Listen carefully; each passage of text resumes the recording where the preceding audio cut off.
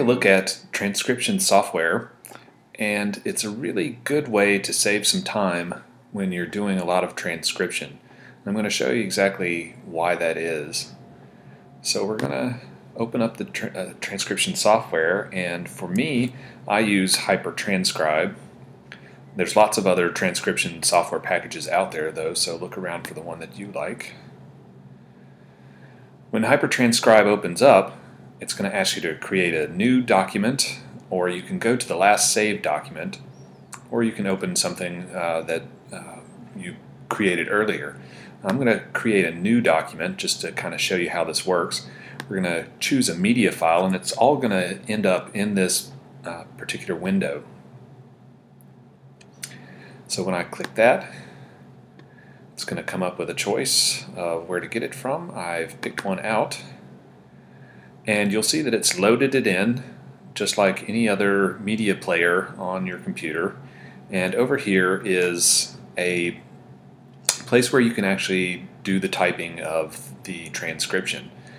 You'll also note there's a button here on the front for loop playback. This is one of the ways that it saves you time to use transcription software because the software can actually take the audio recording and do a loop of the audio over and over and over until you've been able to transcribe it all.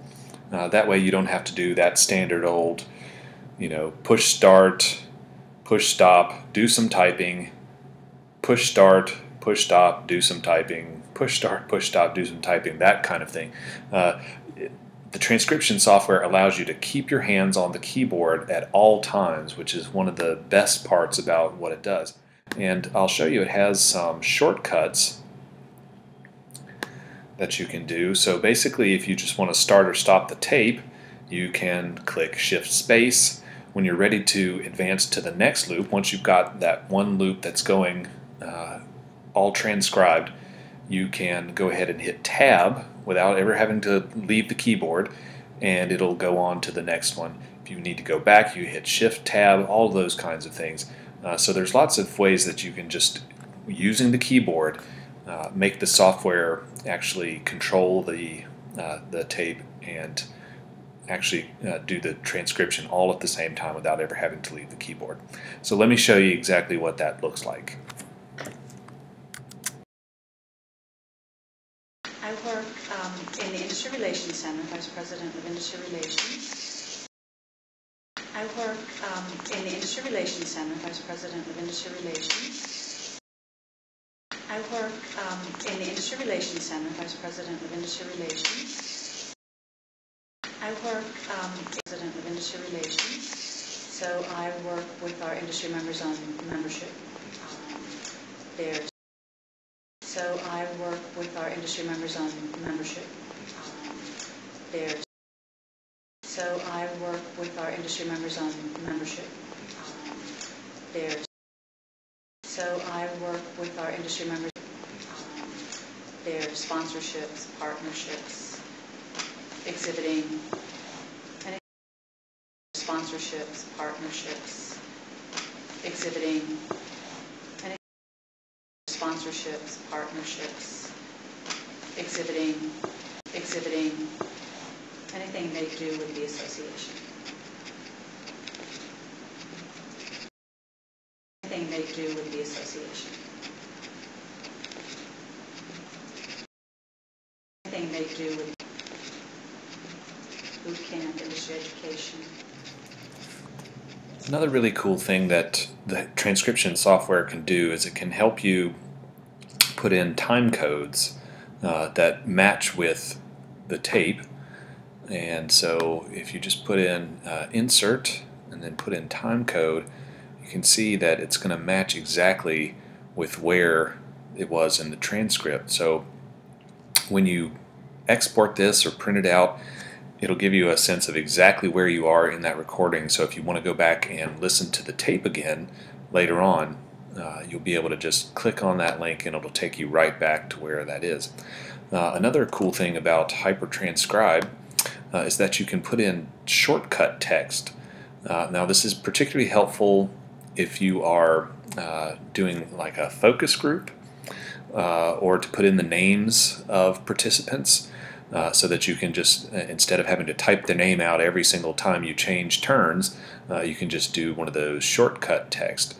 Um, and uh, to edit those shortcuts, you can just do that. Now, uh, I use uh, the command key and one, and then I'll usually do MWH, and that's me uh, when I'm doing interviews. Uh, for command two, you could put, uh, you know, if you're interviewing someone named Susan, you could uh, put Susan's name in there. You can also do any kind of other text that you wanted to as well if you wanted to stick in anything. I mean, you can go for lots and lots of text in there for, for whatever it is.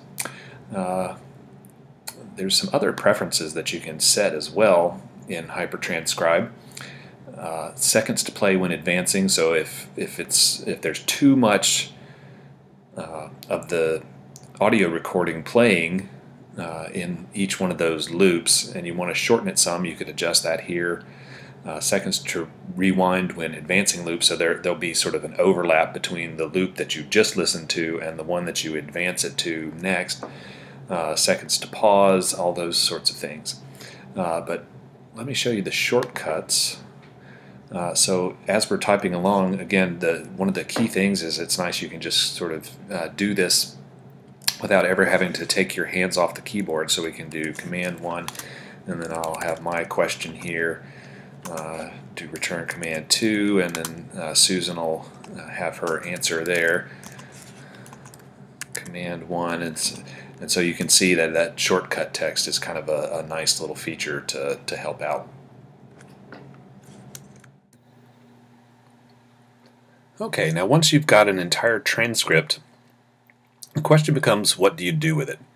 Well, HyperTranscribe and other transcription software has ways that you can export the particular files.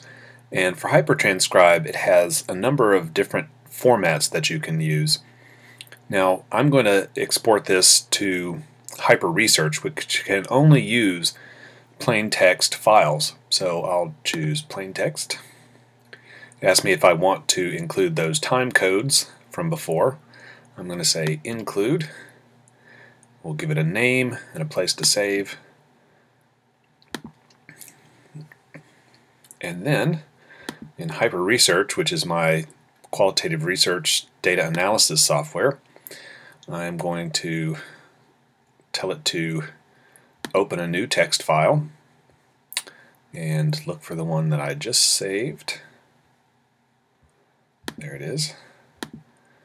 And then as you can see, when we open it up, there's all the transcription that we've just done.